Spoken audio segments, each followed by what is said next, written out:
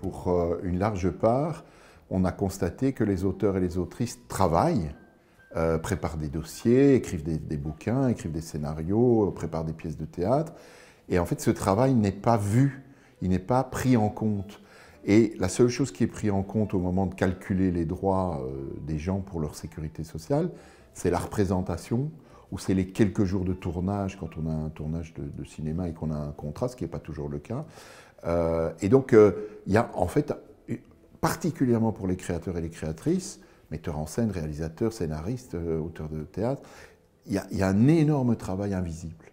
Dessinateurs de BD, etc. On travaille des années sur un bouquin, et puis, en fait, ça ne se cristallise en termes de sécurité sociale que sur un moment très très court qui ne correspond pas, en fait, à la réalité du travail qui a été euh, investi. On travaille maintenant depuis euh, cinq ans environ, très intensément sur l'emploi artistique. Et donc, on s'est dit, mais voilà, les choses se cristallisent aujourd'hui avec la crise du coronavirus, avec euh, la volonté de certains partis politiques de repenser les choses un peu autrement et d'améliorer la situation euh, des artistes. On a, fait, on a fait entendre le message quand même de façon assez forte.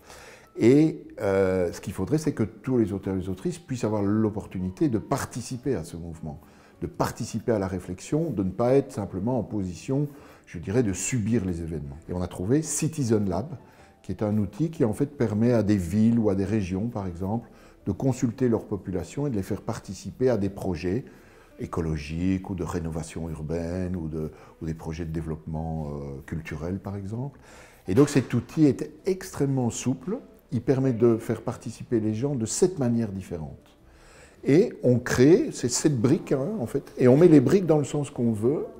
On, on dit, ben voilà, on va traiter telle thématique, et on va commencer par une brique, par exemple, de questionnaire, suivie d'une brique dans laquelle on va mettre des propositions sur lesquelles les gens vont pouvoir réagir, suivie d'une synthèse dans laquelle les gens vont pouvoir donner leurs priorités. C'est grosso modo ce schéma-là qu'on a choisi pour discuter de la protection sociale. Euh, notre objectif principal, c'est sortir les gens du chômage.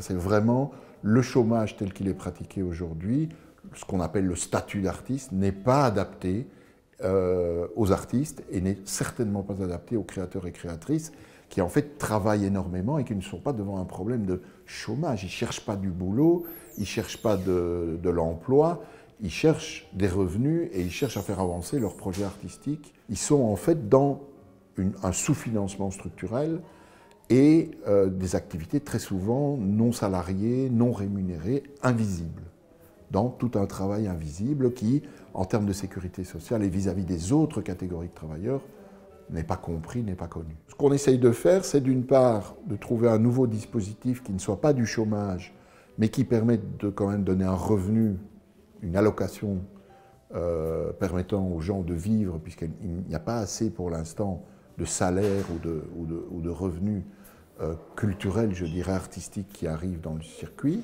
Mais surtout aussi, nous, notre spécificité, c'est de dire qu'il faut au même temps développer l'emploi artistique.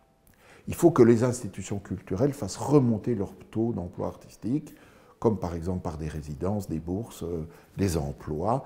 C'est anormal que la RTBF, avec 2000 emplois et si peu d'artistes, si peu de réalisateurs, si pas de scénaristes, pas de compositeurs, il n'y a, pas de personne, il a plus de personnel artistique à la RTB alors qu'il y en avait beaucoup dans les années 80 par exemple. Ce qui est très frappant, c'est que les, auteurs et les autrices vivent des statuts multiples, très complexes, très différents.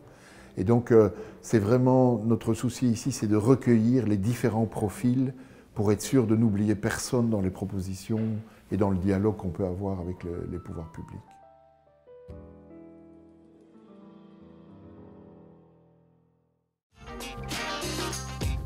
Les ont besoin qu'on s'intéresse à eux, vous le savez.